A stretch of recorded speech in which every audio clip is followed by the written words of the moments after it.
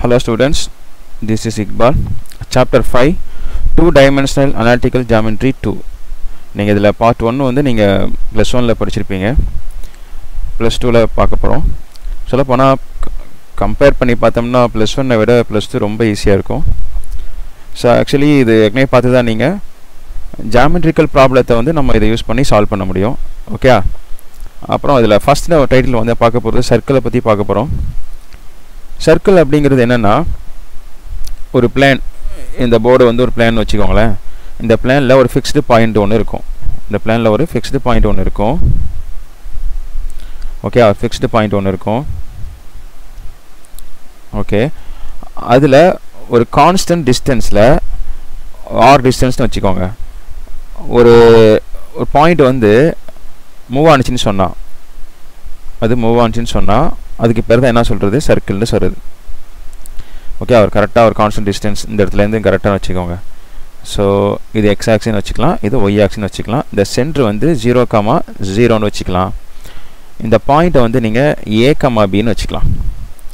இல்லை X comma Y எது வேணாலும் வச்சுக்கலாம். எக்ஸ் கம்மா ஒய்னு வச்சுக்கலாம் அந்த ஈக்குவேஷன் ஃபார்ம் பண்ணுறதுக்காக இது வந்து சென்டரில் கரெக்டாக இது எக்ஸ் ஆக்சிஸ் ஒய் ஆக்சிஸ் திருப்பி சொல்கிறேன் ஜீரோ கம்மா ஜீரோ சென்டரில் அது ஃபிக்ஸ்டு பாயிண்ட் வச்சுக்கோங்க. அதான் சென்டர் அங்கேருந்து ஒரு கான்ஸ்டன்ட் டிஸ்டன்ஸில் அதே பிளேன்லேயே ஒரு லைன் வந்து ஒரு பாயிண்ட் வந்து மூவ் ஆனிச்சின்னு சொன்னால் மூணை கண்டிப்பாக எப்படி மூவ் ஆகும்?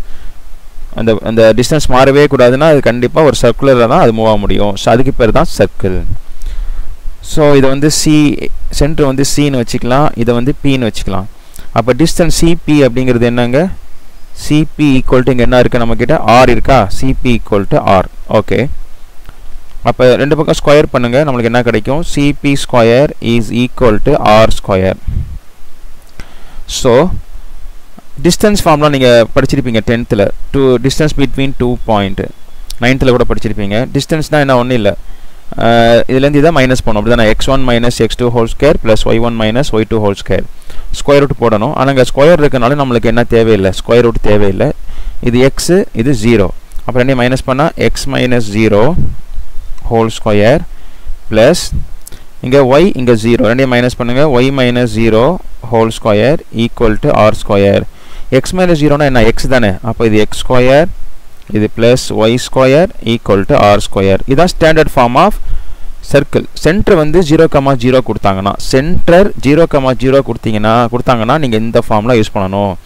ஏன்னா இங்கே வந்து சர்க்கிளோடைய சென்டர் எங்கே இருக்குது எக்ஸ் ஒய் இன்டர்செக்ட் ஆகிற இடத்துல இருக்குது அது ஜீரோ கமா ஜீரோவில் இருக்குது சப்போஸ் இதே இது வந்து இங்கே இருக்குன்னு வச்சுக்கோம் சர்க்கிள் வந்து இப்படி இருக்குது அந்த சென்டர்லேருந்து சம் டிஸ்டன்ஸில் இருக்குன்னு வச்சுக்கலாமே. ஓகே இங்கே வந்து எக்ஸ் ஆக்சிஸ் இங்கே இருக்குது ஒய் ஆக்சிஸ் இங்கே இருக்குன்னு வச்சுக்கலாம்.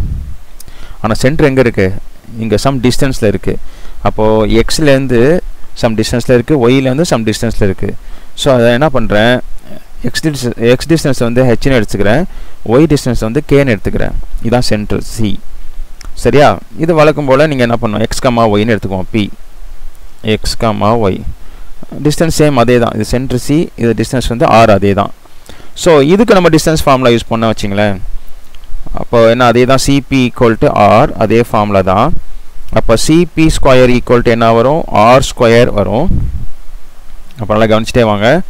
அப்போ CP square equal to r square அப்போ டிஸ்டன்ஸ் என்ன வருங்க? X minus h whole square அங்கே ஜீரோ வந்துச்சு இங்கே என்ன இருக்குது ஹெச் இருக்குது அப்போ x minus h whole square plus y minus k whole square is equal to r square சரியா? சரி இதுதான் வந்து சென்டர் கொடுத்தாங்கன்னா சரியா? இதுக்கு பேர் என்னென்னா சென்டர் ரேடியஸ் ஃபார்ம்னு சொல்லுவாங்க. இந்த ஈக்குவேஷன் பேர் என்ன? Centre radiation form radius form equation of the circle centre radius form okay ஞாபகம் வச்சுக்கோங்க. இது வந்து சென்டர் ஜீரோ கொடுத்தாங்கன்னா ஜீரோ கமா ஜீரோ கொடுத்தாங்கன்னா இந்த ஃபார்மில் நீங்கள் யூஸ் பண்ணணும். சென்டர் வந்து சம் டூ கமா ஜீரோ இல்லை த்ரீ கமா ஃபோர் அந்த மாதிரி கொடுத்தாங்கன்னா நீங்கள் இந்த செகண்ட் ஃபார்மில் யூஸ் பண்ணணும். நம்ம நைன்த் இது ப்ளஸ் ஒனில் நம்ம என்ன பார்த்துருக்கோம்னா general equation of the circle நம்ம தனியாக பார்த்துருக்கோம். General equation of the circle நம்ம இதுவரையும் பார்த்தது வந்து ஸ்டாண்டர்ட் ஃபார்மு இப்போ பார்க்குறது general equation of the circle சரியா? ஸோ இதுக்கு என்னன்னா நம்ம x square plus y square plus two gx plus two fy plus c equal to zero இது நீங்கள் ப்ளஸ் ஒன்லேயே நீங்கள் படிச்சிருப்பீங்க. ஸோ இதான் general equation of the circle சரியா? ஸோ இதை வச்சு தான் நம்ம சென்டர்லாம் கண்டுபிடிக்க முடியும். இங்கே நல்லா கவனிச்சிங்கன்னா இங்கே முக்கியமான ப்ராப்பர்ட்டிஸ்லாம் இருக்குது இங்கே கோஃபிஷியன்ட் ஆஃப் எக்ஸ் ஸ்கொயரும் கோஃபிஷியன்ட் ஆஃப் ஒய் ஸ்கொயரும் ஈக்குவலாக தான் இருக்கும். இங்கே சப்போஸ் இங்கே டூ இருந்துச்சுன்னா இங்கேயும் டூ தான் இருக்கும். அது டிஃப்ரெண்டாக இருந்துச்சுன்னா சர்க்கிள் கிடையாது. புரியுதா? அப்போ கோஃபிஷியன்ட் ஆஃப் எக்ஸ் ஸ்கொயரும் கோஃபிஷியன்ட் ஆஃப் ஒய் ஸ்கொயரும் ஈக்குவலாக இருக்கான்னு ஃபஸ்ட்டு செக் பண்ணிக்கணும். ஓகே சரி. இப்போ இதுலேருந்து நம்ம சென்டர் எப்படி கண்டுபிடிக்கலாம் அப்படின்னா இந்த கோஃபிஷியன்ட் ஆஃப் எக்ஸ் இருக்குல்ல அதில் என்ன இருக்குது டூ ஜி இருக்குது அதுலேருந்து நம்ம ஜி கண்டுபிடிச்சி அதை மைனஸாக மாற்றிக்கோங்க மைனஸ் ஜி இங்கே கொஷன் ஆஃப் ஒய் வந்து நான் டூ எஃப் இருக்குது அதில் எஃப் கண்டுபிடிக்கலாமா? அவ்வளோதான் minus f minus g comma minus f தான் சென்டர் ஃபார்முலா அதே மாதிரி ரேடியஸ் வேணும். ரேடியஸ்க்கு ஃபார்முலா என்னென்னா square sorry radius equal to square root of g square f square minus c இதுதான் ஃபார்முலா ஸோ அது ரெண்டையும் நான் இது ஃபார்முலா ஞாபகம் வச்சுக்கோங்க. சர்க்கிளில் ஃபுல்லாக நம்ம சுற்றி சுற்றி இந்த ஃபார்முலா தான் யூஸ் பண்ண போகிறோம் ரொம்ப ஈஸி சாப்டர் இது. கண்டிப்பாக உங்களுக்கு புரியும்.